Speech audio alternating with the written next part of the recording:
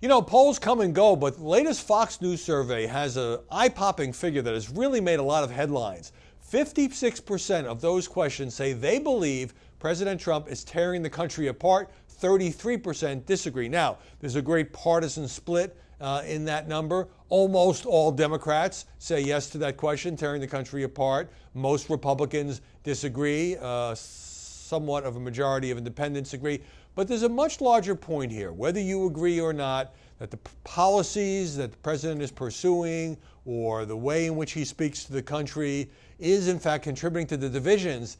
This is hardly the first time that that has happened. Just, just go to the Wayback Machine and let's look at recent presidents. Barack Obama, he campaigned specifically on the notion that he would change the tone in Washington. And a lot of people, first African American president, uh, thought he would usher in sort of a new division, a new era of racial hearing. N- none of that happened. George W. Bush, he, I heard him say this on the campaign trail over and over and over again. I am a uniter, not a divider. Well, he may have tried to be, but he ended up being viewed as a divider. Part of that was the Iraq War, Katrina, you name it. Uh, certainly Bush fell short.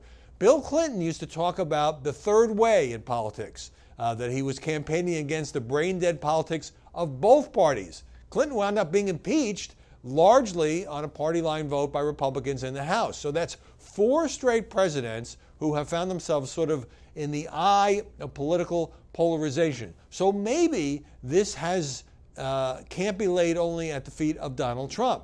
And so, what might be contributing to that? Well, we have the media, which more and more are moving in, in a, a, partisan direction, and more and more people just tune in or read or listen to the outlets that they think voice their opinions. We have Congress and both political parties. There are very few moderates left in Congress because of gerrymandering and because um, the Republicans have moved right and the Democrats have moved left, and that's where uh, they get the biggest payoff. You also have the rise of independent groups that raise a lot of money by pushing uh, positions that are more conservative, more liberal, demonizing the other side.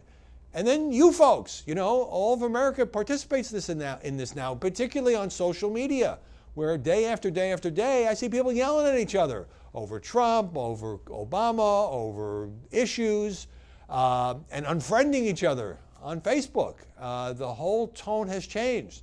So there's some collective responsibility here. You have political trends married to um, the fact that anybody now has a megaphone.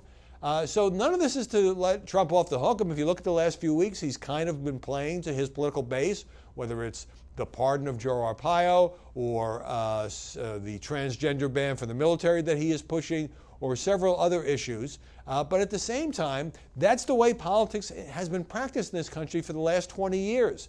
So the notion that it is solely because of Donald Trump, or Donald Trump is the most divisive president ever, you might want to reconsider that just by looking at recent history.